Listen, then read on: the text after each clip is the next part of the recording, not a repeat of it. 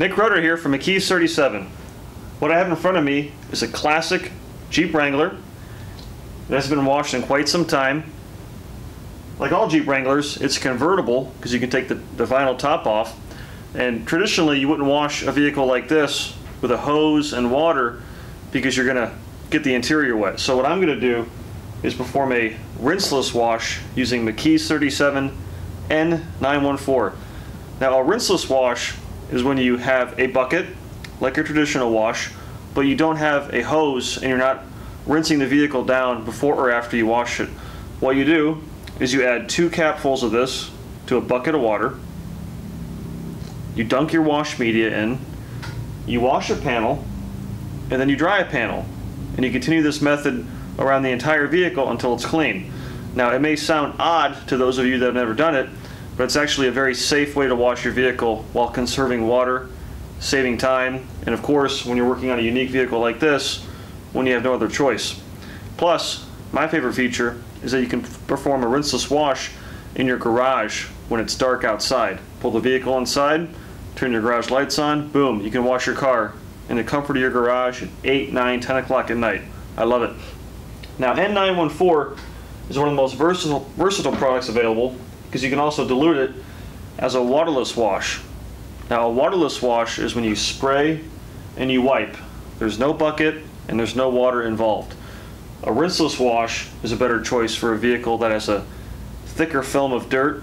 A waterless wash is good for a daily driver if you stay on top of it. You know, you can clean it every couple days. A rinseless wash, heavier dirt. A waterless wash, lighter dirt. I'm going to show you how N914 works on this Jeep. Now with the rinseless wash, you want to use two buckets. One for your wash solution and one for your rinse water. Both of these buckets are clear. They have a measurement on the side so you know exactly how much water to put in there. They have the Gamma Seal lid and they also have a grit guard. And what a grit guard does is it traps the dirt particles that you remove from your wash media. That way it doesn't swirl back up in your water back into your wash bin. Now using N914 is real simple. It's one ounce of concentrate for every two gallons of water. I have three and a half gallons in this wash bucket. I'm going to use the glug glug method. That's about two ounces what I need for this much solution. Then you can either use a wash mitt like this alien worm wash mitt or you can use microfiber towels. For a vehicle that's not so dirty you can get away with using just one of these. For this Jeep I'm going to use a handful of these premium gold towels and I'm only going to use them so many times before I discard them for this application. Now, using the rinseless wash is really simple. You wash a panel, and after you wash it, you dunk it in your rinse water, you wring it out, and you put it back in here. Super easy. This Jeep is pretty dirty, so one trick that detailers use to, for an extra precautionary measure is to spray it down with waterless wash first. So this is N914 mix it the waterless wash dilution ratio, one ounce of water for every gallon, excuse me, one ounce of concentrate for every gallon of water. This is the 32 ounce spray bottle, which means I have a quarter ounce of concentrate and the rest is water. And by spraying it down first, it gives the cleaner time to loosen any dirt and grit particles. That way, when you take your towel or your wash mitt, which is soaked with the rinseless wash solution, less likely to scratch. You just wipe one direction. Look at your towel. A towel has eight usable sides when you fold it four ways. Flip it. That section right there. Expose the clean section. Again. And keep doing this until you no longer have any clean sections.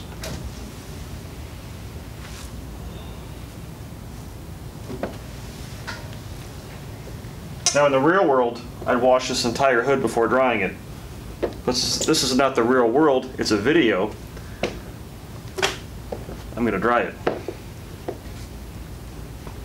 You want to use a microfiber towel that's a manageable size, that way you don't drag it across the ground, or panels that have not been washed yet. Then you simply dry it. I'm going to finish the entire panel. This is the microfiber towel I just used to wash the hood of the Jeep. Now earlier I said you have two buckets, one for your wash solution and the other for your rinse water. This is a safety measure to prevent swirls and scratches. So you take your wash media, you dunk it in the rinse water, and you agitate it against the, against the grit guard insert. And what that does is it removes the dirt and the grime from the towel, and the grit guard insert traps it in the bottom of the bucket. Take your towel, wring it out really well. It's never a bad idea to inspect it. Make sure you don't have any big chunks of sand or anything like that before you put it back in your wash bucket. Now as you make your way around the vehicle, when a towel becomes too saturated and you can't get it as clean as you'd like, then switch to a new towel. I have three towels in this bucket. If the vehicle is lightly soiled, you can get away with using just one wash mitt. A rinseless wash is really simple. You wash one panel, you dry it, and you move on. Doing the wheels and tires, it's best if you use a waterless wash. N914 diluted 1 to 128. Simply spray and wipe. That's the easiest way to wash your vehicle without resorting to a hose and sudsy solution and runoff. If you live in an apartment complex, it's perfect. You want to wash your vehicle at night in your garage, it's perfect. At a car show, it is hands down the most convenient way to wash your vehicle without sacrificing any safety. McKee's 37 N914 is one of the most versatile detailing products you'll ever use. I showed you how to use it as a rinseless wash. Now you can also use it as a dedicated waterless wash. Now this Jeep is a little out of my comfort zone in terms of how dirty it is to normally use a waterless wash, but for demonstration purposes, I'm going to show it anyway.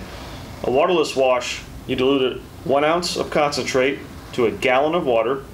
This is the 32 ounce spray bottle, so that means it just takes a quarter ounce of that hyper concentrated liquid to make a full spray bottle of ready to use waterless wash. When using a waterless wash, you want to have lots of microfiber towels, high quality ones. And you want to spray a, a heavy film of product. You want to apply it really wet. And the reason you want to do that is lots of lubrication. Normally when you use a spray wax, you just do one or two sprays. But for a waterless wash, you really want to have a thick layer of cleaner on there. And N914 contains super slippery polymers that encapsulate the dirt. That way when you wipe it off, it gets trapped in the pile of the towel, therefore it doesn't scratch your paint. Spray it down, take a towel, and you wipe in one direction. This is not something you do in a circular motion because you'll scratch the paint. That towel is very dirty. I'm going to flip to a clean side because your towel has eight usable sides. Do that section. It's dirty. Flip it over again. Expose the clean section. Now you can see why I mentioned having plenty of microfiber towels.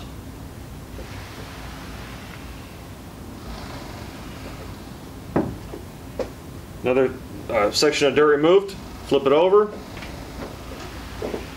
And normally you want to save the, the lower body panels last because they tend to be the dirtiest. And that's it. A waterless wash is that simple. One of the many benefits of N914 is that it doesn't streak, it doesn't smear, it does not have any wax or silicones.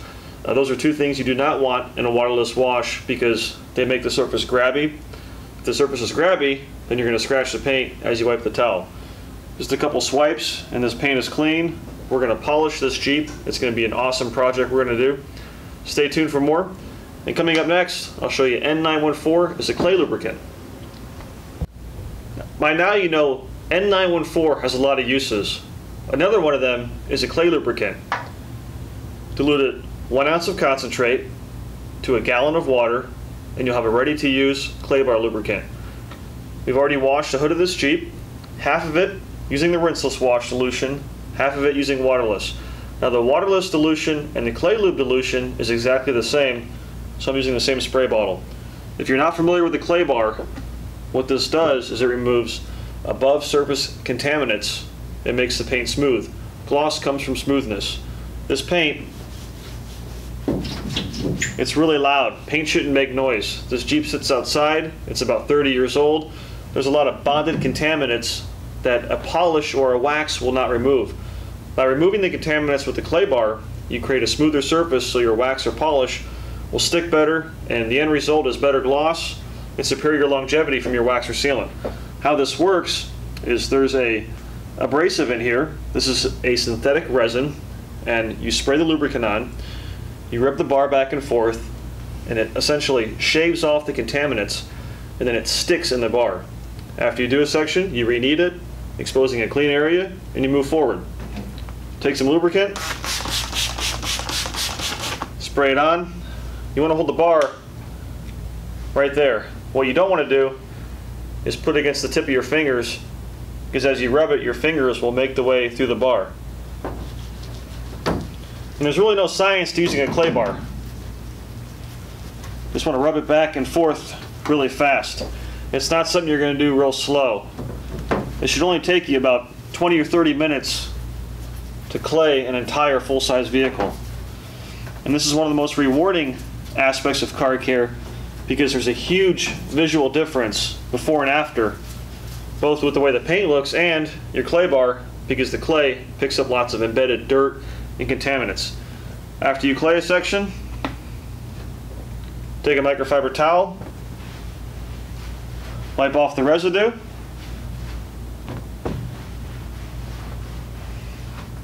Then you move on to the next section and you follow with polishing or waxing or whatever your end goal is. That's McKee's 37 N914 at the clay lube dilution ratio.